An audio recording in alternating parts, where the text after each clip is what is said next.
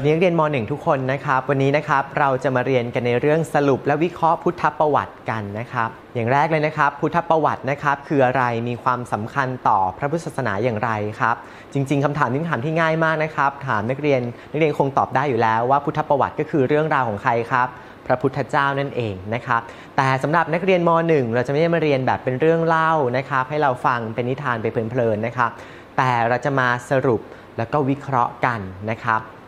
อย่างแรกเลยนะครับ พุทธประวัตินะครับ คือประวัติความเป็นมาของพระเจ้าอย่างที่เมื่อกี้ครูกล่าวไปนะครับ ซึ่งจริง ๆ แล้วที่บอกว่าทำไมต้องสรุปวิเคราะห์นะครับ เพราะหากเรานะครับนำสิ่งที่พระพุทธเจ้านะครับ ทรงทำในแต่ละช่วงนะครับ ของพระชนชีพเนี่ยมาวิเคราะห์นะครับ ก็จะได้แง่คิดและหลักการดำเนินชีวิตที่ดีนะครับซึ่งตรงนี้หากเรานำมาใช้ในชีวิตประจำวันของเราก็จะสามารถนะครับในการช่วยพัฒนาตนเองได้ เดี๋ยวนักเรียนครับ คุณครูจะมีภาพนะครับต่างๆนะคะให้นักเรียนได้ดู นักเรียนลองทายนะครับ ว่าภาพที่ครูเตรียมมาให้เนี่ยนะครับ เกี่ยวข้องกับพุทธประวัติตอนใดนะครับ และก็สามารถวิเคราะห์ได้อย่างไรบ้าง มาที่ภาพแรกนะครับ ภาพนี้ครับนักเรียนพอมองออกไหมครับ ว่าเป็นภาพเกี่ยวข้องกับพุทธประวัติตอนไหนครับ จากภาพนี้ครับนักเรียนสังเกตก็จะเห็นมีภาพนะครับ ผู้หญิงที่กำลังโน้มกิ่งต้นไม้อยู่ใช่ไหมครับ แล้วก็มีภาพของ เด็กน้อยที่เพิ่งเกิดมานะครับคงเป็นตอนไหนไม่ได้เลย นอกจากตอนที่ประสูตินะครับสำหรับเรื่องราวในช่วงของประสูตินะครับพุทธเจ้านะครับทรงเป็นพระโชรสนะครับของพระเจ้าสุทัศนะ และพระนางสิริมหามายานะครับกษัตริย์แห่งกุลกบิลพัทนะครับในดินแดนชมุทวีป ซึ่งปัจจุบันนี้ก็ได้แก่อินเดีย ปากีสถาน เนปาลและบังคลาเทศนะครับ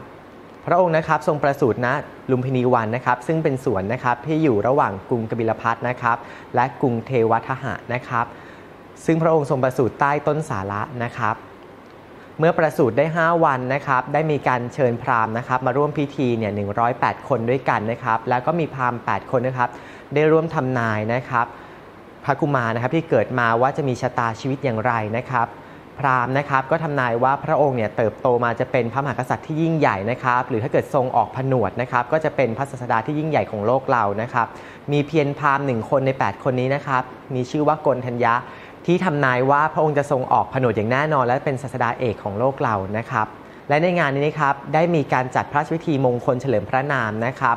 โดยมีการตั้งพระนามของพระกุมารที่เกิดมาว่าสิทธัตถะนะครับ แปลว่าผู้สำเร็จในสิ่งที่ประสงค์ เมื่อประสูติได้ 7 วันนะครับ พระนางสิริมหามายานะครับ พระราชมารดาของพระองค์นะครับ ก็ได้เสด็จสวรรคตนะครับ พระราชบิดาของพระองค์ก็คือพระเจ้าสุทัศนะนะครับ จึงได้มอบพระกุมารนะครับ สิทธัตถะเนี่ยให้อยู่ในการดูแลของพระนางประชาบดีโคตมีนะครับ ซึ่งมีศักดิ์เป็นน้าของพระองค์ครับ ถัดมานะครับ ภาพนี้ครับนักเรียนนักเรียนพอมองออกไหมครับ ว่าเป็นภาพเรื่องราวเกี่ยวกับอะไรครับ ถ้าสังเกตนะครับจะมีบุรุษหนุ่มรูปงามนะครับ แล้วก็มีบุคคลต่างๆ อีก 4 บุคคลนะครับ มีใครบ้างครับ คนแก่นะครับ คนเจ็บ คนตาย แล้วก็มีสมณะใช่ไหมครับ ตรงนี้นั่นคือตอนที่เจ้าชายสิทธัตถะนะครับ ได้พบเทวทูตทั้ง 4 นะครับ เทวทูตทั้ง 4 นี้นะครับ หากวิเคราะห์แล้วหมายถึงการแสดงไม่เห็นความจริงให้ปรากฏนะครับ ว่าคนคนเราเนี่ยต้องเผชิญสิ่งเหล่านี้แน่นอนไม่ว่าความเจ็บ ความแก่และความตายนะครับในขณะเดียวกันการที่เจ้าชายสิทธัตถะนะครับได้พบเห็นสมณะนะครับ เป็นบุคคลที่มีความน่าเคารพเลื่อมใสนะครับ และเรียกว่าทำไมครับ ดูที่จะปอดนะครับพัฒนาการจากความเจ็บความแก่ความตายนี้ พระองค์จึงอยากจะหลุดพ้นบ้างนะครับทำให้พระองค์เนี่ยฮะเกิดความต้องการจะหลุดพ้นทุกข์จึงตัดสินใจที่จะเสด็จออกผนวดนั่นเอง มาที่ภาพถัดมาครับ ภาพนี้ครับ จะมีภาพผู้ชายที่กำลังปรงผมตัดผมตนเองนะครับ มีผู้ชายคนหนึ่งอยู่ด้านนั่งอยู่ด้านล่างนะครับ เฝ้าคอยแล้วก็มีม้านะครับ ตรงนี้คือเรื่องราวของตอนขณะเสด็จออกผนวดนะครับริมฝั่งแม่น้ำในรัญชลานะครับ โดยบุคคลที่อยู่ในภาพอีกคนนึงก็คือนายชนะ และก็ม้าที่ชื่อว่ากันทกะนะครับ จริงๆนะครับเรื่องราวที่จะวิเคราะห์ตรงนี้ต่อเนื่องจากการเสด็จออกผนวดครับก็คือหลังจากเสด็จออกผนวดแล้วพระเจ้าทรงทำอะไรนะครับพระเจ้าไม่ได้ทรงผนวดเสร็จปุ๊บแล้วก็ตรัสรู้เลยนะครับเรื่องราวจะเกิดขึ้นเกี่ยวกับการแสวงหาความรู้ของพระองค์นะครับ ณ ตอนนั้นนะครับเจ้าชายสิทธัตถะนะครับทรงแสวงหาทางหลุดพ้นนะครับ โดยเริ่มจากการศึกษาในสำนักของอาจารย์ต่างๆ ได้แก่สำนักของอาราลดาบทกาลามาโคตนะครับจนสำเร็จสมาบัติ7นะครับ จากนั้นนะครับ เมื่อศึกษาจากสำนักอาราดาบทแล้วก็ยังไม่หลุดพ้นนะครับ ก็เลยไปศึกษาต่อที่สำนักของอุทกดาบทนะครับ รามบุตรจนสำเร็จสมาบัติ8นะครับ ก็ยังไม่หลุดพ้นอีกนะครับ พระองค์นะครับจึงลาอาจารย์ทั้งสองนะครับ และค้นคว้าหาแนวทางของการหลุดพ้นด้วยพระองค์เองสำหรับวิธีการที่พระองค์มองว่าน่าจะทำให้พระองค์หลุดพ้นได้นะครับ ก็เกี่ยวเนื่องกับภาพนี้ครับ ในภาพนี้จะเห็นภาพของเจ้าชายสิทธัตถะ นะครับที่มีพระวรากายสู้ผอมนะครับนั่งบำเพ็ญเพียรอยู่นั่นคือเรื่องของการบำเพ็ญทุกขกริยานั่นเองนะครับ